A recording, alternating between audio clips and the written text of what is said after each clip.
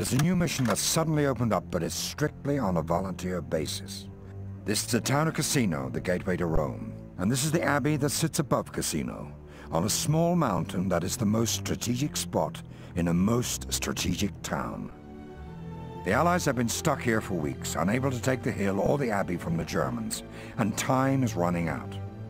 Unlike the ruins on Crete, Command has made the decision that it's time to attack the site from the air, no matter the consequences to history or scholarship.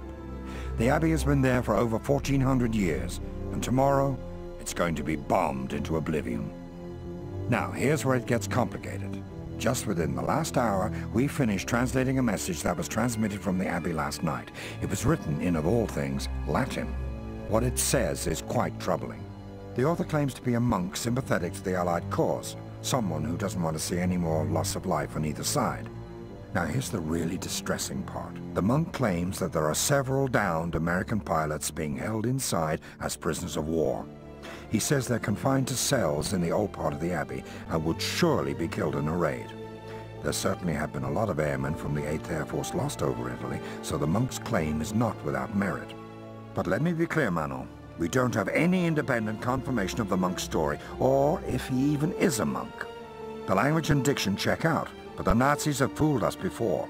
This all just might be a clever ruse on their part to prevent an aerial bombardment. The mission is fairly straightforward. Clandestinely infiltrate the Abbey, rescue the POWs, and disrupt the Germans' operation by destroying whatever equipment you can. The monk's message contained very specific instructions on how to sneak inside which you can read on the plane if you accept this mission.